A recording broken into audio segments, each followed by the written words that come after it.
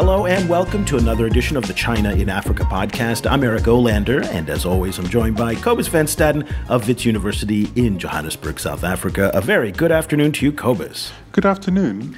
Cobus, it has been a year since we last talked about racism, and boy, this past week it came back like a doozy. I mean, it's just, you know, it's one of these issues that, you know, racism, you'll, you'll, it'll be here with us for the end of time. And uh, this past week, we had two really serious incidents, which I think bring to light the difficulties that Chinese are having as they engage the rest of the world. In part, we'll talk about uh, a really tone deaf museum exhibition that featured the juxtaposition of African animals with African people, and also. Um, you know, WeChat. I mean, it's just. I'm laughing because it's just so funny. WeChat had the uh, when you they have this automatic translation feature, and when you press the automatic translation for Wai, which is uh, black foreigner, it came up as the N word. So we'll talk about both of those issues and what it means. And uh, it's really, I'm laughing because it just we're not making any progress, which is really what's so discouraging here. It's really awful. It's I was I'm also laughing for the same reason. It's just so egregious and awful, and you know, yeah, exactly. We we're just kind of stuck in the mire um, yeah, we're not moving and, and forward. We're not moving forward, but I guess in, in some ways it's important to have these conversations. And I think before we start this discussion, we should point out the fact that, you know, I come from a country which is, you know, four centuries into its history uh, you know, it's still struggling with racial issues in the United States. Uh, you obviously come from a country where race has defined the, the, the, past, you know, two, three hundred years. So, you know, we're not going to pretend that whatever we're talking about is easy to solve.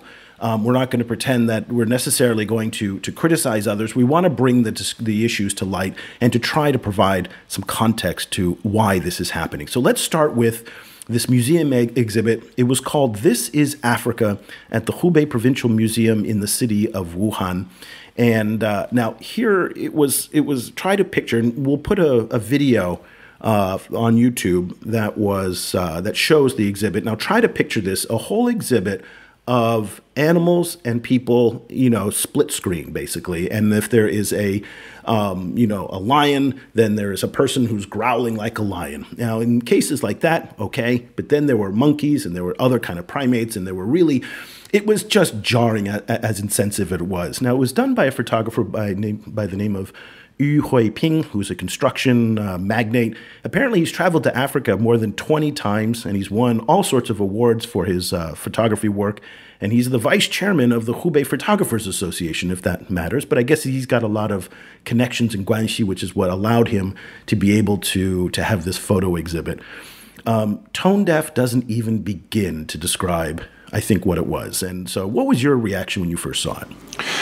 Well, Okay, in the first place, you know, we have to make be clear that you know, as as two white guys discussing race in the China-Africa relationship, there's you know, there's a lot of things that we will probably even not not see, have no insight into. So take that whatever we say with a, a grain of salt. Indeed, um, indeed, indeed.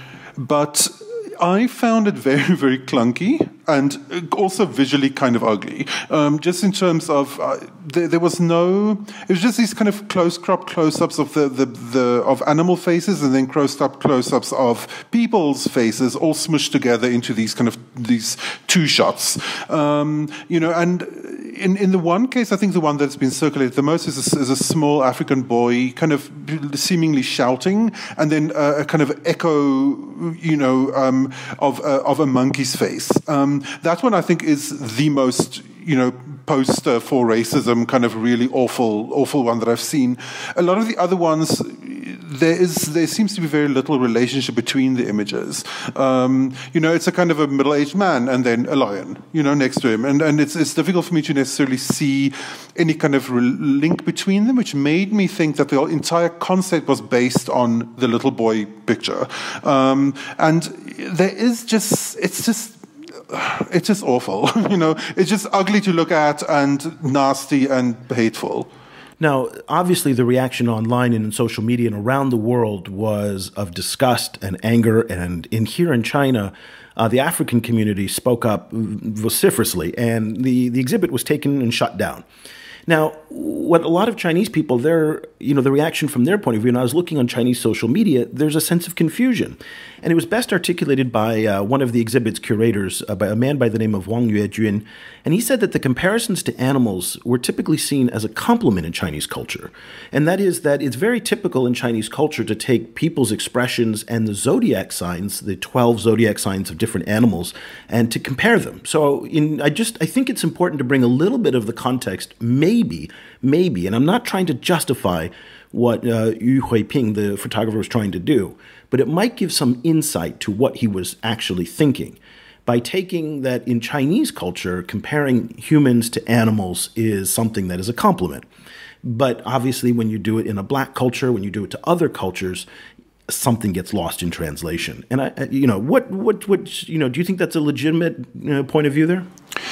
Um, you, you see a similar kind of thing happening in colonial art sometimes in, in Africa, where there is a, a tendency in in a lot of colonial art of of kind of both depictions of African people and African animals are not necessarily condemning them in any way. They kind of a lot of it is couched in terms of we're celebrating this kind of wild, wild non-European beauty, um, and fine, sure. But the the problem is is that that only works if you remain ignorant or willfully ignorant of the, an entire like multi-century discourse in which Africans were equated with animals. And and and where you know, sure. I mean, you can say whatever whatever one wants about you know kind of traditional or different kinds of cultures' love of animals, but in most cultures, uh, you know, animals are are categorized as non-human. That's what you are when you're not human. So that kind of conflation has run for centuries and centuries in depictions of Africans, and the only way that this kind of thing can work is if you remain completely ignorant of that tradition, which of course doesn't work because that tradition lives on.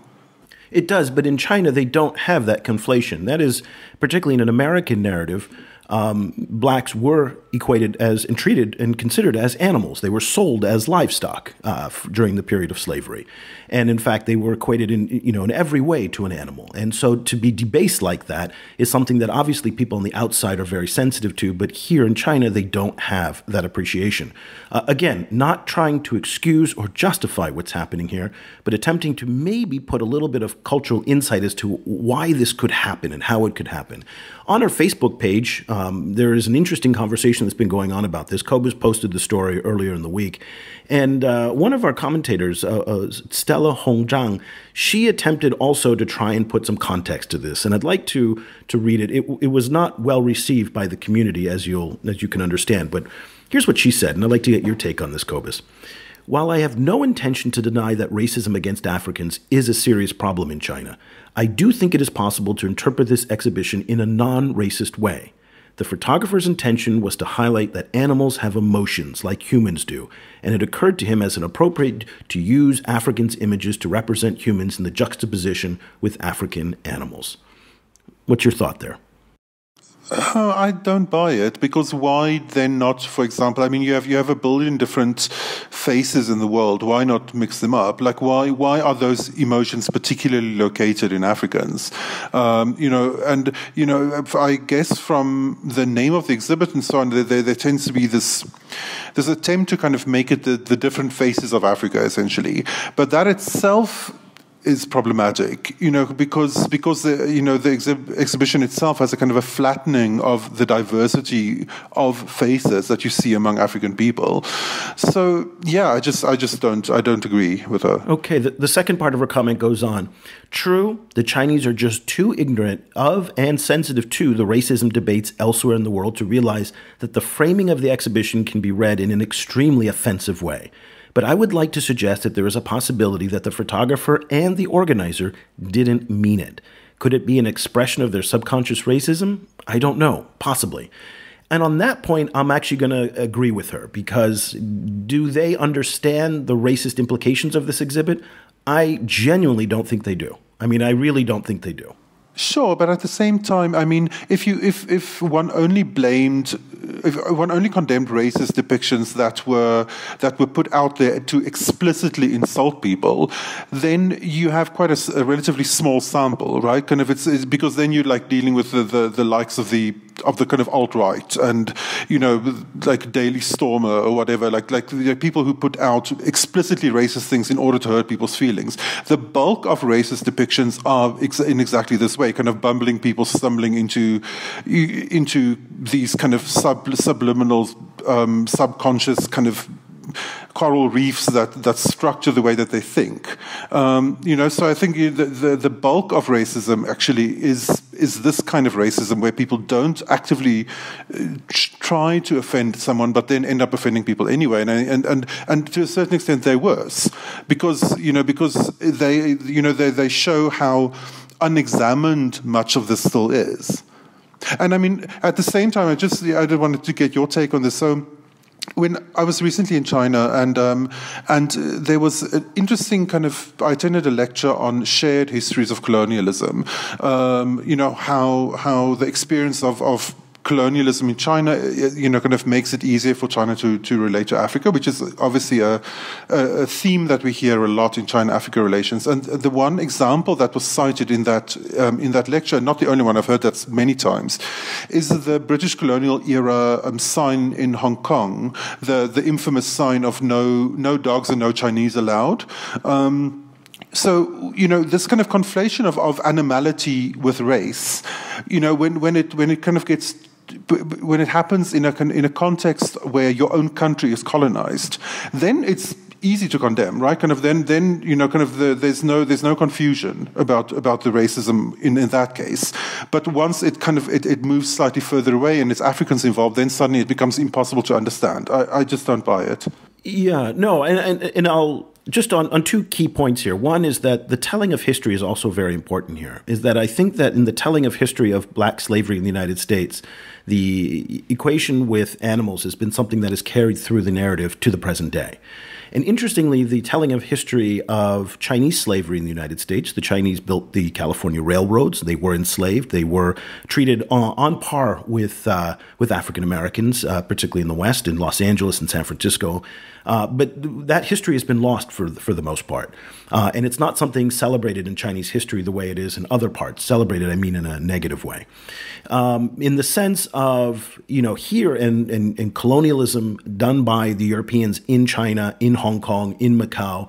Um, it's not dwelled upon anywhere near, for example, the way that Japanese colonialism is. And so I think the telling of the history is very, very different, which relates to the fact that I don't think people have a collective memory of Western colonialism in China the way they do, say, of Japanese colonialism here. And, and as a result, I think there's something very, very interesting here. And this goes to your point that, yes, the kind of hidden racism is the most insidious because it's more, much more pervasive. And I think the, the big problem here was that there was nobody to say, you know what, this isn't a good idea. And when you live in a country that is 92% the same ethnicity, um, and there is a, a, collectivism here in terms of not publicly criticizing others, particularly people who are, you know, construction magnates who are very wealthy, uh, who put on photo- photography exhibits like this. Um, there's just nobody who stood up and said, this is a bad idea. And just to show that the Chinese aren't alone in doing this, you know, you know, our show this week is This Week in Racism, right? Um, our friends at the Dove Soap Company in the United States, they too ran into a very similar problem, where they had they released an ad this past week, which was almost identical in nature to the racist detergent ad in China last year that you and I talked about. Where, in, if you recall from that ad, the idea was there was a, a Chinese woman she had her boyfriend, who was a black African, who put into a washing machine. She put in the detergent, and out came a kind of pale skinned Han Chinese. And the idea was, wow, you can make it clean. Well, Dove this week uh, did something very similar, where a I think it was an African American woman kind of takes off her shirt and she becomes a white woman. And the idea, of course, is that Dove will make you cleaner. Dove now faced two challenges on this. One was that visualization, but two, they said on their product normal to darker skin. So the product is ideal for normal to darker skin, implying, of course, that darker skin is not normal. Now, this is 2017 in the United States, and they are still struggling with this issue. Again, I am not trying to suggest that the Chinese should be left off the hook for this at all, but just to suggest that these are extraordinarily complicated issues that societies like yours and mine are still struggling with. Yes, and to, to be, you know, I, I find the, the Dove ad incredibly dumb and, and, and objectionable, but not, I don't find it as objectionable as the exhibit for the only reason that the, the rest of the ad is, is, the ad is essentially a three shot ad. So you see, you see a black woman with a t shirt that matches her skin tone. Then she pulls the t shirt over her head and she essentially turns into a white lady with a, with a kind of a pale buff t shirt who then pulls another t shirt over her head and she turns into who seems like maybe Hispanic woman um, with a kind of a beige t-shirt. So I hate this. It's really, really dumb. But I don't find it maybe as as racist as I do the exhibit. Um, what, what do you there's think? a commonality. There's a yeah. commonality between the two. And, yes. and, and, and what I will say is that, again, the lack of diversity in the people making the decisions about both the ad and the exhibit there was nobody there that said, you know what, this isn't a good idea. Okay, well, this is what I wanted to ask you actually, because so so I'm you know I'm working at a at a media studies university department, which means this is ground zero for kind of critiquing this kind of thing. Um, but you've you've put in a lot of time in actual ad agencies. So so how does this actually work in the boardroom? Like how do how do these decisions get made? So you know working in advertising there's a long process that leads up to this type of uh, of ad that goes that goes live. It goes through evaluations. It goes from the creative to the client back to the creative back to the client back to the creative. I mean there's probably 200 back and forths uh, before they actually decide to release the ad. These are not done quickly. They're done carefully. They're done with lots of data behind them. There's well thought through. The problem is though if you have one group of people who or, or a, a, predominance of one group of people, whether that's a cultural predominance, whether that is a racial predominance, whatever it is, and no one is saying, you know what, this is not going to be well received, that ad can fly through all of those checks. And that's probably what happened, in my guess, is that nobody sat there and said, you know what, this community, my community, is not going to be well, not going to receive this very well. And as a result, on social media, everybody sees it very quickly. So I suspect that this was not something that was done haphazardly. This was actually done with an enormous amount of thought, of data, of evaluation, consideration. But the lack of diversity is really the problem here. And that is the problem in China. And so that brings us up to another issue that came out, which is WeChat. Now, for people outside of China, they don't really know WeChat too well, but WeChat is, in fact, the second largest social media network in the world. Facebook, of course, being number one with 2 billion users. Uh, WeChat has 900 million users, most of them in China. Now, WeChat is a social network, it is a payment system, it is a chat, it is it's everything. It's an Uber app, if you will. And uh, now, it, it, there's a feature on WeChat which is very, very cool, actually, if you don't speak Chinese.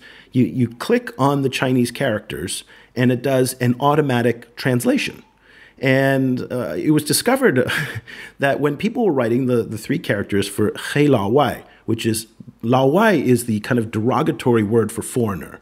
Uh, it's kind of a not not a necessarily a rude word. It's a kind of a, a minor slang. Um, and then He is black, so black foreigner. And when you kind of pressed on the words black foreigner, Hei Lao Wai, those three characters, uh, WeChat automatically translated that into the N word. I mean, and, how and, and, did this happen? now, what WeChat will tell you, WeChat will tell you that it was they're blaming uh, the error on artificial intelligence. Now that says so they're saying humans are not involved in our translation. So it brings us back to do you remember a couple years ago Microsoft had a very similar problem with the Kinect, their their game system, that it didn't recognize black people, and they said it's based on the algorithms. It's not human that made those decisions. Oh, I was actually thinking of a different Microsoft. Uh, I, was it Microsoft? I can't remember. A, a, a big Silicon Valley company uh, started an AI where they used social media to social media inputs where the AI was teaching itself to speak, and then within within a few within a few weeks, this the AI turned into this like horrible Nazi racist was, nightmare, having just like absorbed absorbed everything on Twitter. Um, that yes. was what I was what, what because that that's what I wanted to know more about actually about how this algorithm worked because did was was the algorithm self learning in terms of user you know, kind of you like absorbing um, like real text messages in the world, or like what was the kind of glitch that came on in specifically that I didn't 100% get? I, I, will have to ask somebody from WeChat, and I suspect people are not, at WeChat are probably not going to talk to you and me and the rest of the world about this. They say now that it has been corrected, but this says one of two things. Either this was some kind of you know sick joke by a programmer at, at WeChat. That's entirely possible, which is owned by Tencent, which is partially owned by Naspers of South Africa. Um, that's possible. Or it really was an artificial intelligence issue. And what the algorithms do is they will go out on onto the, you know, basically into the vast world of networks, and they will take the characters Wai, you know, black foreigner, and they will say, what does this mean? And they will try and find as many kind of comparisons to those three characters in the definition, and then it comes back and it says, this means this. So it's entirely possible as well that WeChat was was being honest and saying, listen, the word went out into the network, and the network came back saying the N word. Yeah, which again goes back to what we you were live saying. in this broken world, and, and WeChat is reflecting our broken world back to us. There we go, too. So that is also a possibility as well, and it reflects the broader racism that exists in society that WeChat is simply reflecting in their algorithmic translation. Impossible to know. We will probably never know. But I want to bring up another issue to you. What kind of damage do you think this kind of incident will have as WeChat tries to make its entry into Africa? Um, I have to say, I I didn't see a lot of coverage about this issue um, in the in the African press. So the fact that they managed to fix it quickly, uh, you know, you know, I think it, there will be probably be some damage, but I, I, think the bigger, I think WeChat faces bigger, bigger challenges in Africa than that particular problem. Um, especially if the problem doesn't recur. Like you, other issues, like for example, the the complete market dominance of WhatsApp in, in the South African market, I think will be, and just the way that that uh, uh, like WhatsApp and, and Facebook chat have been kind of in, integrated in people's everyday lives on a level that WeChat is going to be, you know, find hard to to replicate. I think that will probably be a big issue. Interesting. So WeChat, and this this issue brings up one final point that I'd like to make on this on this broader issue of racism and cultural homogeneity, and the difficulties that I think Chinese companies are going to face as they go out into the world looking for new markets. Companies like WeChat are facing a very big problem here in China, and that is the fact that the market's been saturated. Everybody who can have a WeChat account has one now in China. There is no more growth to be had. It's done. Uh, so, in order for these companies to continue to grow, they have to look for new markets, and those markets are overseas. And the Chinese, because they don't have a lot of cultural, ethnic, linguistic, national diversity in their management ranks, Alibaba may be the exception there. But for the most part, a lot of these companies are very, very insular. And as a result of being insular, they make these mistakes over and over and over again. And I think it's going to be one of the biggest impediments that challenge Chinese companies as they make inroads into places like Africa, into the United States, Europe, and elsewhere. I agree, but I think it's it's even a bigger problem than that because China isn't the only insular country out there, um, you know, and, and this this kind of insular racism is also a part of African life. Um, so I, I, think I think it's important to to widen this debate beyond, especially the the, the role of Africans in this debate beyond, uh, you know, kind of appalled and offended uh, person on on social media, um, because Okay, so so the, the reason I'm, the reason I'm saying this is there was a there was an incident about two weeks ago in South Africa where there was a big demonstration uh, by the, the Congress of South African Trade Unions, which is this umbrella organization representing a, a, a large number of trade unions, massively politically influential in South Africa, like a real one of the biggest power players in the country, um, representing thousands and thousands of workers. So there's this kind of massive rally um, in the in the center of Joburg. They want to hand over a set of a memorandum in relation to you know like listing their their set of grievances. It was part of a strike action, and they need to hand that over to the mayor of the country, of mayor of mayor of Johannesburg. I mean, so the mayor of Johannesburg is in a meeting, um, and he so and he can't attend, and he sends a deputy who who's on the, the, the, the council, who is a Chinese South African. Um, you know, a, a South African citizen of Chinese descent who works for the council in Johannesburg.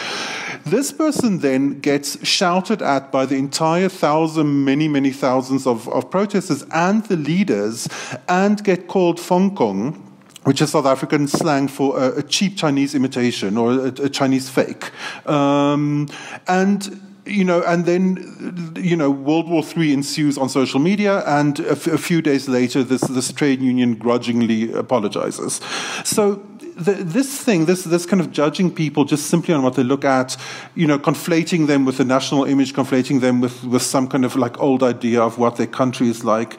This isn't just happening in China; it's happening in Africa, um, and it's you know it's it's a, it's a problem. like as, as as you know, as more and more Chinese companies come into Africa, they're going to be hitting a lot more of this. And, and I think that's a good point to end our discussion. Is that if you find me a country where they have figured out racial tolerance, I will give you 10 bucks because um, I don't think it exists. I mean, racial injustice, racial prejudice is something that all countries deal with and all societies deal with. Um, even, you know, my wife is from Sweden, and Sweden has long kind of promoted itself as a bastion of tolerance, and they are struggling right, right now.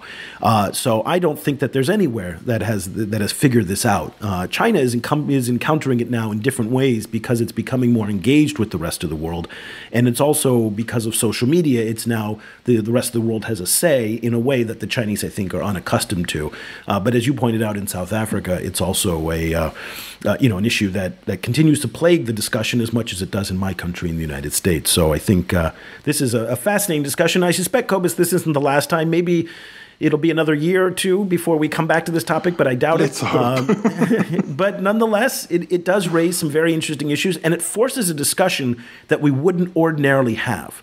And for that, I'm grateful for these types of, uh, of incidents because it allows us to bring some some things that are under the surface above uh, in all context. Again, the fact that you and I are two white guys talking about this uh, only adds to the discussion because no one has a monopoly on the truth here. Certainly, we don't, uh, and, and and we don't pretend to. We're just trying to kind of engage a conversation with you, our listeners, and each other, and trying to find uh, an understanding and a better solution to this. So.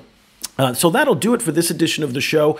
Um, if you'd like to join the discussion, and see what uh, Stella Hongzhan wrote on our Facebook page, go look for the post on facebook.com slash China Africa Project. Of course, Cobus and I are on all the various social media channels, which will give all the details at the end of the show. But uh, we'd love to, to have you join our discussion. Uh, find me on LinkedIn as well, where we're talking a lot about these, these different issues. Uh, what do you think? Do you think the Chinese are to blame? Do you think there are, there are reasons behind this, or is this just simply simply inexcusable and should be called uh, inexcusable right up there, and just that's it. So uh, we'll be back again next week with another edition of the China in Africa podcast. For Cobus Van Staden, I'm Eric Olander. Thank you so much for listening.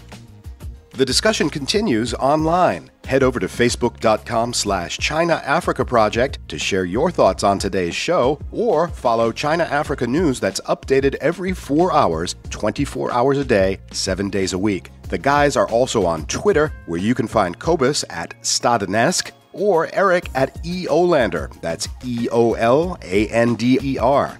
Subscribe to the China Africa podcast on iTunes or download the mobile apps for iOS, Android, or Windows Phone. Just head over to your favorite store and search for China Africa.